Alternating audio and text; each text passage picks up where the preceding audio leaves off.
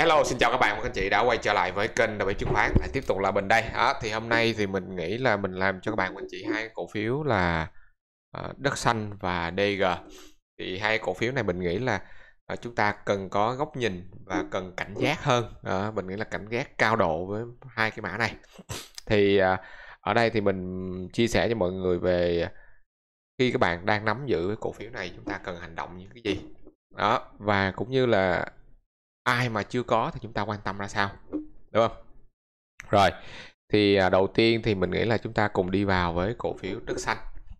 Rồi thì về cổ phiếu đất xanh thì các bạn có chỉ thấy là hiện tại đây là cổ phiếu nó đang nằm trong một cái uh, xu hướng rồi mình nghĩ là đây là một cái xu hướng giảm à, một cái xu hướng giảm và hiện tại nó đang có những cái dấu hiệu tích lũy đó.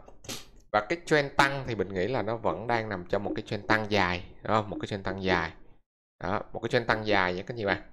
Và ở đây nó chỉ gọi là một cái sự tích lũy thôi. Và mình nghĩ là nếu như giả sử tích cực để tăng được hơn thì à, đất xanh nó phải cần vượt qua nằm trên được cái vùng ít nhất là các bạn các anh chị thấy là nằm vượt trên được cái vùng à, 19 đúng không? 19.5 đó 19.5 trong vòng 3 tuần tới đúng không? Đó thì đây nhìn về dài hơn thì mình nghĩ là mình chúng ta bỏ qua cái tuần này. Cái tuần này nó cũng không còn nhiều nữa rồi.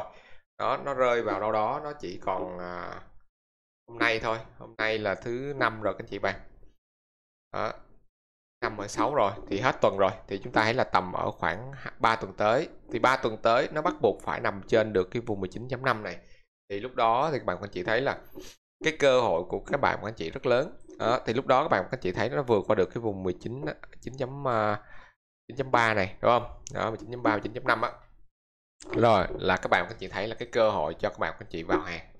Đó còn với những cái giai đoạn này các bạn mà các anh chị nào mà đang nắm mình nghĩ là chúng ta nên cẩn thận đúng không? Nếu như giả sử ở đây mà nó tạo ra một cái sự breakdown là các bạn thấy là bây giờ à, nó phá đáy này đúng không? Thì cái nguy cơ mình thấy là nó sẽ phá vỡ cái cái cái trend tăng dài này của ờ, uh, đất xanh thì lúc đó mình không biết ở đâu nó sẽ dò đáy nó nó sẽ tiếp tục đi dò đáy thì mình nghĩ là rất là khó đúng không? Rồi ok thì như vậy các bạn và các anh chị nên cần cảnh giác với cổ phiếu đất xanh này ha. Rồi à, về DG cũng vậy thôi DG thì chúng ta thấy là hiện tại nó cũng đang nằm trong một cái quá trình rất là khó. Đó là gì? Nó nằm trong một xu hướng down này là xu hướng giảm đó anh chị bạn. Và hiện tại nó đã về lại những cái vùng cân bằng và mình thấy nó đang tích lũy rồi đúng không? Hiện tại nó vẫn đang có một cái dấu hiệu tích lũy. Thì để một cái tín hiệu ngắn thì mình thấy là nó phải cần vượt qua những cái tín hiệu tích cực là ở cái vùng 21.7 đúng không? Đó, thì lúc đó các bạn các anh chị thấy là nó tích cực hơn. Và đặc biệt về cái xu hướng dài thì các bạn thấy là nó phải cần vượt qua được cái vùng trên ở ở trên cái vùng 24.5 đặc biệt các bạn đợi nó vượt qua 25 luôn. Đúng không? Vượt qua 25 thì mình nghĩ nó sẽ tích cực hơn đối với DG và đặc biệt các bạn thấy là gì? Đó, về xu hướng dài các bạn thấy là gì? Đó, là nó phải cần nằm trên được cái vùng 24.5 này và vượt trên 25 26 này. Đó. Thì lúc đó mình nghĩ là DG nó mới tích cực về mặt dài. À, và lúc đó bạn thấy là chúng ta đừng có khăn khe về cái việc ngắn. Đó. thì các bạn thấy lúc đó các bạn thấy là cái cái cái độ tăng nếu mà nó quay lại được các bạn thấy là cái động lực tăng giá của DG nó còn rất lớn đúng không? Đó, tăng giá của trong dài hạn của DG rất lớn. Nhưng nếu mà chúng ta mua sớm ở đây mình nghĩ là về cái trend dài các bạn thấy là DG nó cũng tạo đáy từ cái tháng 11 à, ờ, tháng 11 năm 2022 đúng không? Và tiếp tục là những cái trend tháng 3 đúng không? Thì mình nói cái trend dài thì nó vẫn còn cái trend dài giữ vững ở đây. Đó, nó chưa về đây. Đó, thì cho nên là mình nghĩ là với hiện tại nó đang tích lũy thôi. Tích lũy thì nó rất là khó nha các anh chị bạn. Cho nên là mình nghĩ là nó xảy ra hai chiều hướng nó vẫn có thể xảy ra. Đó cho nên là các bạn các chị đang có thì chúng ta cần cảnh giác cái điều gì? Và như các bạn và các anh chị mà mà mà đang muốn mua mới thì chúng ta cần chú ý điều gì ha? Đó.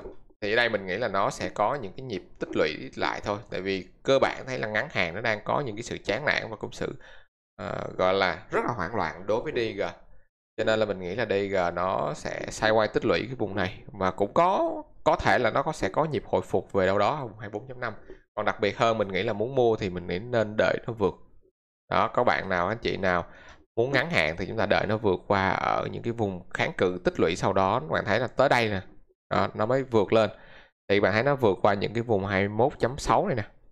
Đó, 21.6 21.7 nè. Đó thì các bạn ngắn hạn thì có thể canh những cái nhịp này thôi. 10 phần trăm các anh chị bạn ha. 10 phần trăm hơn 10 phần trăm mình nghĩ là ngắn hạn được. Ok t cộng với anh chị bạn được.